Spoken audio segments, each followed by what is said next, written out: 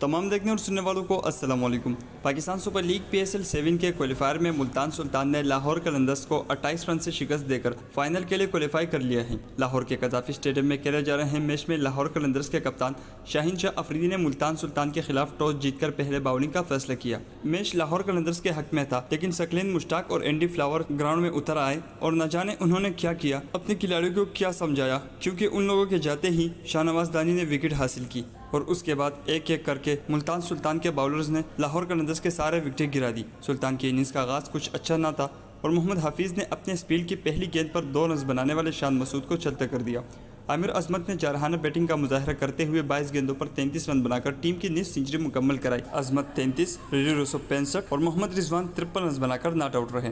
मुल्तान सुल्तान ने 20 ओवर्स में दो विकेटों के नुकसान पर एक रन बनाए। जवाब में लाहौर कलंदर्स के फखर जमान ने उमदा बल्लेबाजी करते हुए पैंतालीस गेंदों पर तिरसठ रन बनाए जिसमें चार चक्के और दो चौके शामिल थे। लेकिन फखर जमान की इनिंग्स का अख्ताम उस वक्त हुआ जब सकलेन मुश्ताक और एंडी फ्लावर ग्राउंड में उतरे और उन्होंने क्या जादू किया कि लाहौर कलंदर्स के बल्लेबाज बेबस हो गए। अब्दुल्ला शफीक पाँच कामरान गुलाम बीस मोहम्मद हफीज़ ज़ीरो ब्रॉक तेरह समित पटेल ग्यारह पुलसाट एक डेविड विजे आठ शाहीन अफरीदी आठ हारिस रऊफ सात और जवान खान ज़ीरो रन बनाकर नॉट आउट रहे। लाहौर कलंदर्स ने 20 ओवर में नौ विकेटों के नुकसान पर 135 रन बनाए।